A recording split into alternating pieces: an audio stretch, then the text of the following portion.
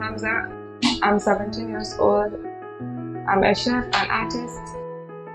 And if I can remember, I started artistic design 2018. What makes me realize I have the talent was that I was sleeping and I have a dream that I won the best artist of the year award.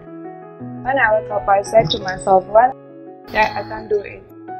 Let's give a try, and now the rest is history. I believe that there is no boundary, no matter the gender, we just have to believe in ourselves. We all have to believe that success is not final, failure is not fatal, it's the courage to continue that counts. We all need to know that it's better to fail in originality than to succeed in imitation.